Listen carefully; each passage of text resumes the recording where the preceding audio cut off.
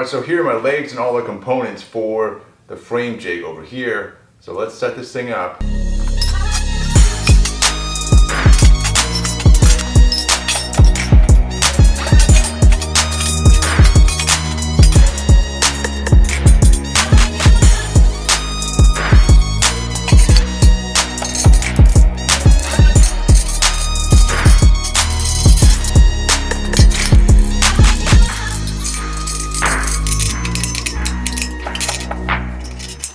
These are little half inch pipe. They have 3 eighths inside diameter. It's like perfect for these things.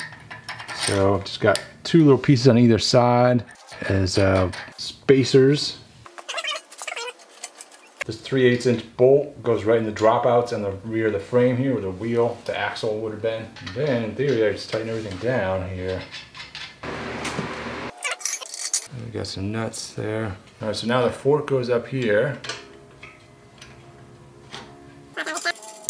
All right, so then you can kind of angle this, tighten it down a little bit more, really get it where you want it. Uh, at the moment, I'm not really sure. This could go up or down. This is gonna, the rake of this will probably change, all that stuff. So, I mean, the rake's probably gonna be something more like that. All right, so that is now level-ish. It gives me a better idea of how everything will actually sit can kind of measure out how far we are apart. You can almost imagine a bicycle there. Pretty sweet.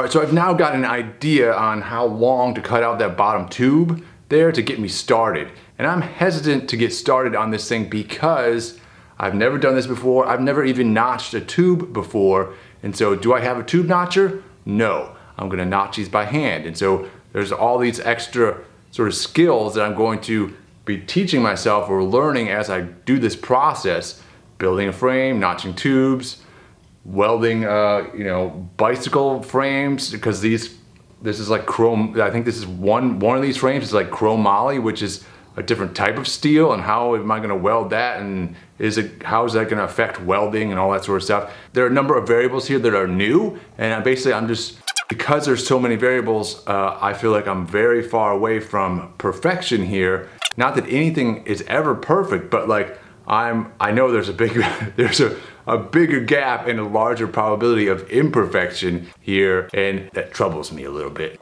Extra variables are like weighing upon my head, right? And so I'm trying to account for as many of them as I can, but because I've never done this before, I don't know what they all will be. There certainly is going to be a few of them that I didn't think of because I haven't been here before. And so I just sort of have to dive into this thing and go for it and I'm just gonna see how it goes. You know, luckily I have invested almost nothing in these bicycles, so there's it's really just a it's really just a time commitment on my part, and really there's just a huge opportunity here to learn some stuff. So, so I'm gonna go ahead and overcut this tube. I know if I cut about 18 inches, I should have more, I should have an extra two inches or so there, and I, I'm hoping that's plenty. And then I gotta cut the, the steering tube as well, and then I gotta sort of line those suckers up and see and try and get those. I can at least get that at a 90, which is where I want that to be. And that, that's probably a great place to start. So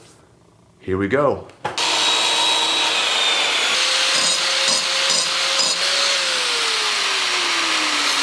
All right, so this is kind of a, a rudimentary way of doing this, but what I'm doing is I've got frame jig here, and this, I don't know if this is a level or not, I'm not worried about level. I'm just worried about this, if this is, this is parallel to this up here. My base assumption is this is straight, and then I want this to relate directly to that, to be parallel to that. And so what I'm doing is I'm measuring a couple points here and just looking at the center of the tube, I'm at 28 inches there. If I come over here, I'm also at 28 inches. So now this should be parallel to that in theory, right? And given that, now I've got this little plumb bob sort of situation over here and this guy, it should be a 90 degree angle right there and that's what I want. And then down here, I want another 90 with this tube right here coming back and meeting up with my my bottom bracket tube. This guy now I want to I want to know what is this length? What's the distance between these two? What do I need to what do I need to cut the next pipe out for? To do that, I'm basically I'm going to measure from the base, from the frame jig, up to this the center of this tube here, and that's about six and a half back there, right? So then if I come up here, put this tube at about six and a half, and then go up to the top here, and I get, it's like 29 inches up there, so 29 minus six and a half is what? 29 minus six and a half should be like 22 and a half. That will put me at the center of this tube right here. So I need to go down from the center of that. I need to add on to that. This guy is about one and a half, you know, three quarters of an inch I need to add on. So I need add on another inch, you know, I need some space down the bottom here. And so another inch, so 22 and a half, I need 23 and a half. So yeah, 23 and a half, 24 inches that's right where we need to be on that tube. And that tube, this the tube that's gonna go in here is going to be straight cut across on both ends. This is our steering tube. Those bearing cups, everything are gonna go on the ends here. I'll probably do 24. And then if I have excess, it'll just raise up the top of this just a little bit, which I think will be just fine. It will just make the steering a little bit taller. Anyways, I'm not worried about the ergonomics at this point.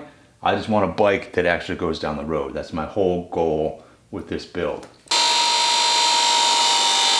All right, so now we've got a couple tubes here that we can sort of put up here.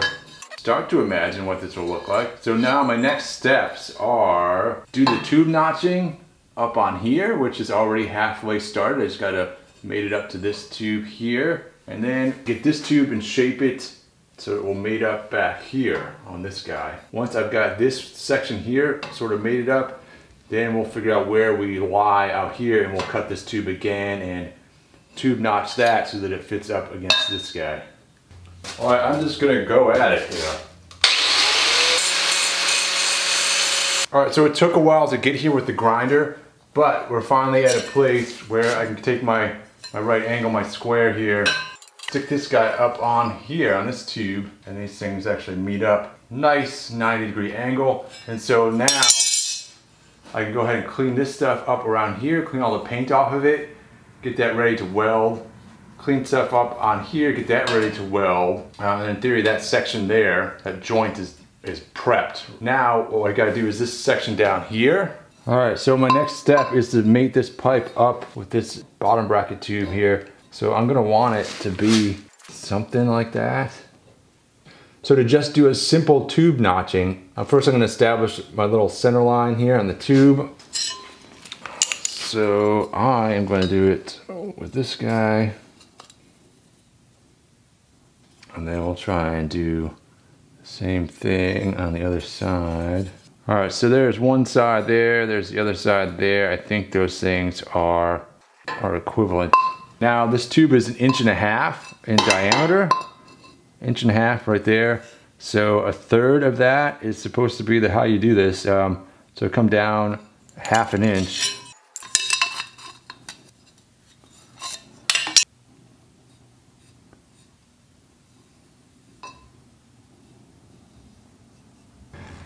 All right, let's try it. This is an experiment, man. All right, so I believe a 45 degree angle is my goal on this cut. So I'm just trying to line this up as best I can. I'm gonna hold it in here and chop it, man.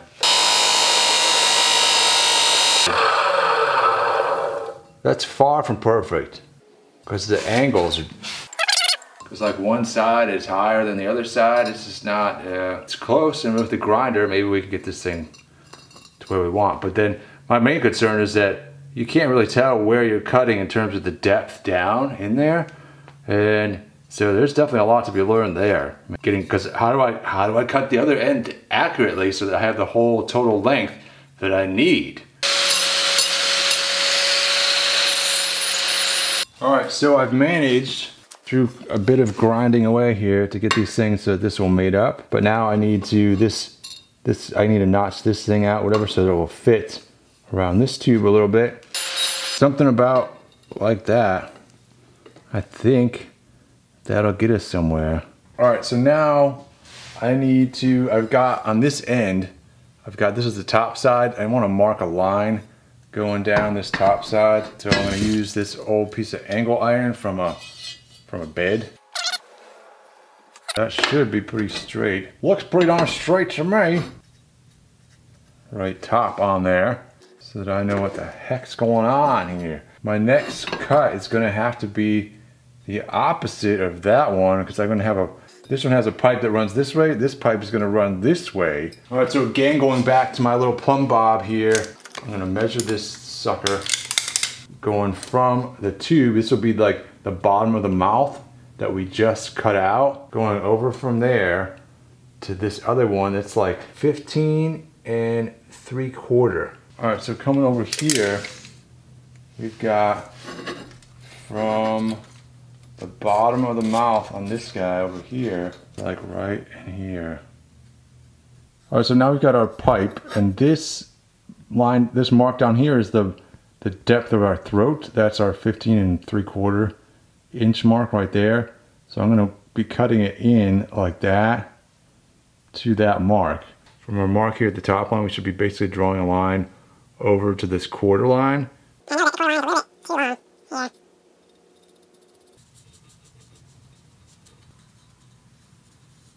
something like that. That's what we're looking for.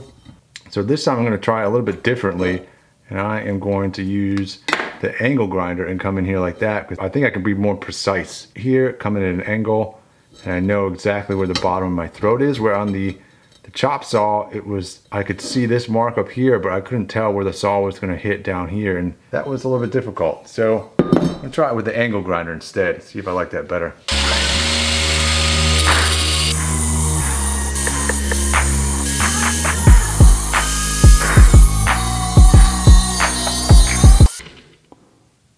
So there's that. It doesn't do anything it's got all this junk in there. Let's clean it out. All right, so after a lot of messing around, I think I've got it pretty darn close to where we want to be. So if I go ahead and stick this thing in here, I know there's easier ways to uh, to do this with like a an actual tube notching tool, but uh, in terms of like getting a feel for it and like all the little nuances of notching tubes, like this is a good way to, to practice, to probably to learn how to do it. Let's get the other tube, set that in here and have a look. All right, so here's our steering tube. Here's our little down tube, so to speak, here. Oh yes, my friends. It may be time to weld this thing here to tack that together.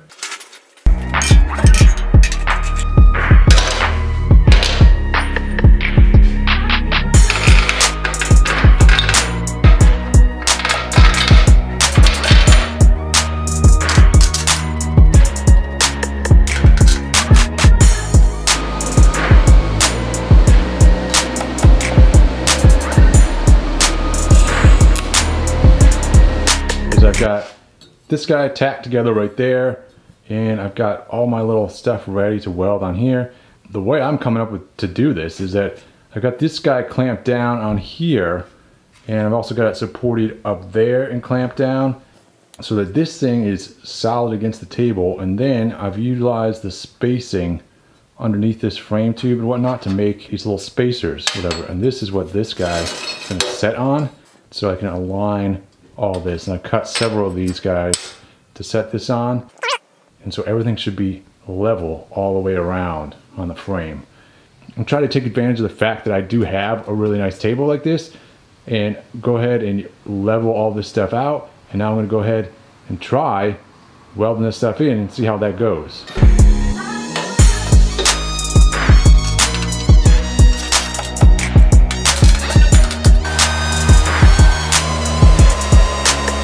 Got it tacked in here.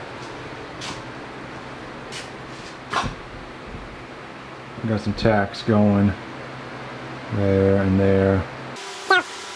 It's actually pretty straight, believe it or not. Look at that.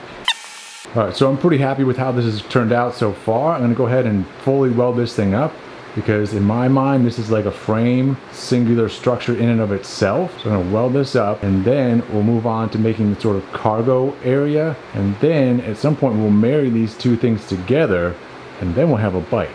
Thanks for watching everybody